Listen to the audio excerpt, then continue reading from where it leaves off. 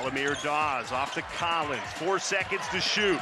Tyson has to fire. He hits it again. Clemson three for three to start this game from deep.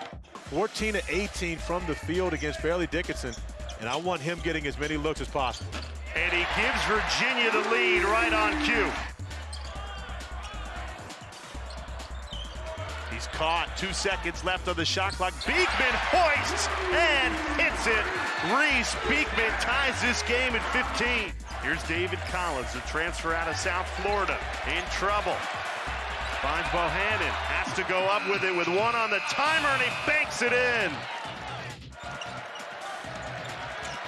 Three seconds to shoot. Bohannon has to hoist at the end of the timer again, and he hits it again. Second time tonight. That and strong as it gets, great assist to turnover ratio. Hasn't been aggressive offensively, as has PJ Hall.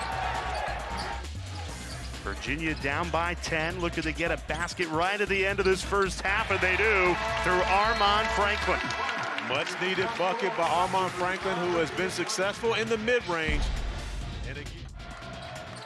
Franklin Gardner and Beekman. Beekman swipes it away and slams it home. The steal and the slam. Right now, if you're Virginia, momentum on your side. You want to see if you can get something going to the rim, knock down a shot. Clark at three, and he buries it. Kihei Clark. Whenever something's going on like that and there's been a discrepancy, you want to get, put the officials in a position to where they have to make a call.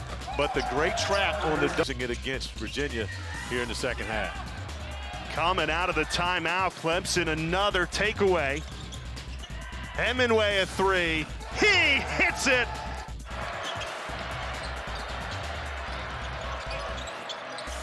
Tigers six minutes away from snapping an 11-game losing streak against Virginia. First win since 2013. And Brad Brownell's team really left no doubt.